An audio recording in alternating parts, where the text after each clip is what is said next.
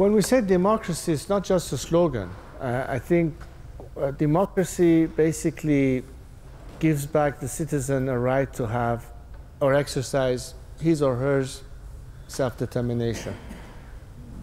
So the way Iranians understand democracy today is not like they used to talk about it, let's say 50 years ago or 100 years ago at the turn of the 20th century, where the first constitutional revolution occurred and an absolute monarchy transformed to a constitutional monarchy back in 1906.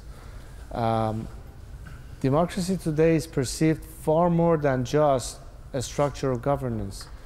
It is pervasive as you read blogs, as you read debates that happen within Iran, even you know the, the, the, average man on the street, not necessarily sophisticated intellectual debate, recognizes that, and, and that I mean as they hear more from the outside world, uh, when they look at how uh, the people of the UK or France or the United States or Sweden or Japan or many other countries that are democratic benefit from so many, um, how can I say, uh, guarantees of due process of law and the rule of law.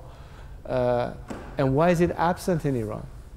And how much of it is because a democratic system is inexistent?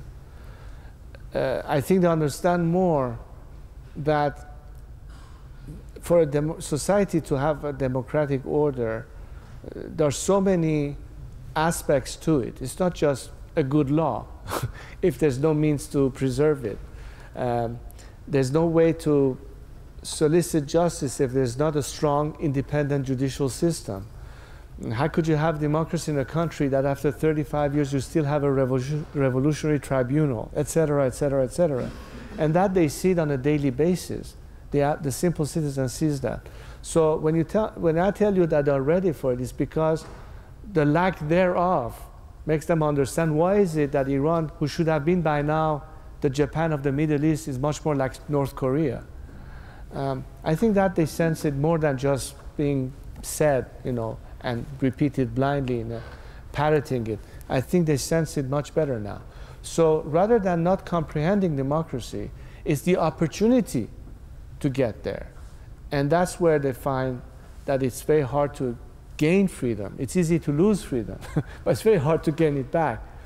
And the, the progress is, is, is quite visible.